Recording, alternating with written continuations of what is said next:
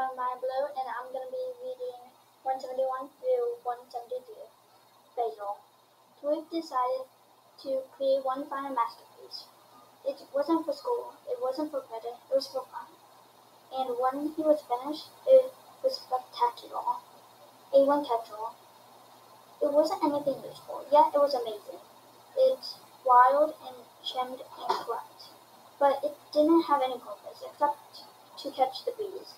It was made from dozens of parts and pieces that had littered room, and it glittered and glowed under the varnished handiwork of Cher's brain.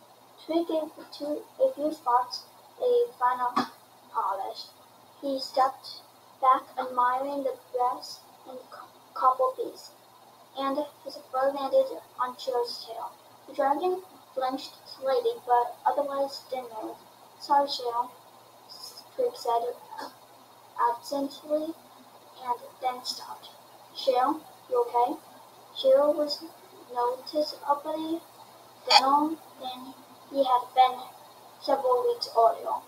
His emerald green scales were now and.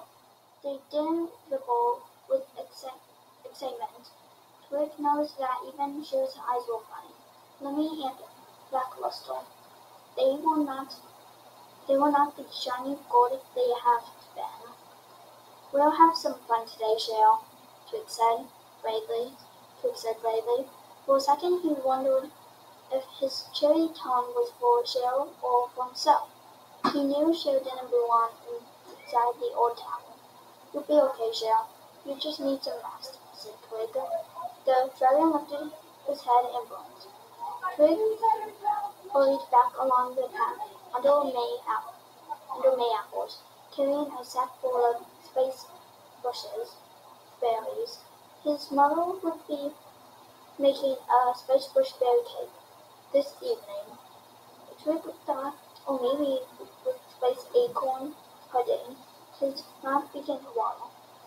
Where are you going so fast? came a voice from directly up the path, and Basil appeared, blocking his way. Twig tried to goodbye.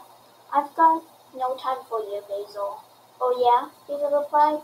He reached into Twig's bag uninvited, pulled out a ripe berry, and, be- and began to munch on. You better make some time for me, 'cause I've got an important message for you.